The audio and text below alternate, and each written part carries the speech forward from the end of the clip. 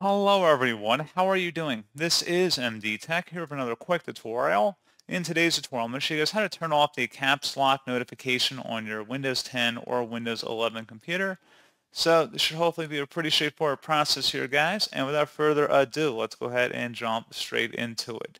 So we are going to start off by opening up the search menu, type in settings, best result should come back with settings, go ahead and open that up.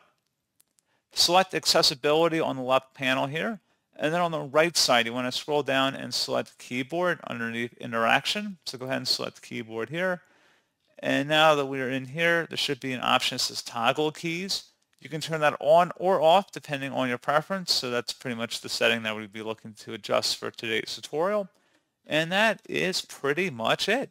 So, as always, thank you guys for watching this brief tutorial. I do hope I was able to help you out, and I do look forward to catching you all in the next tutorial. Goodbye.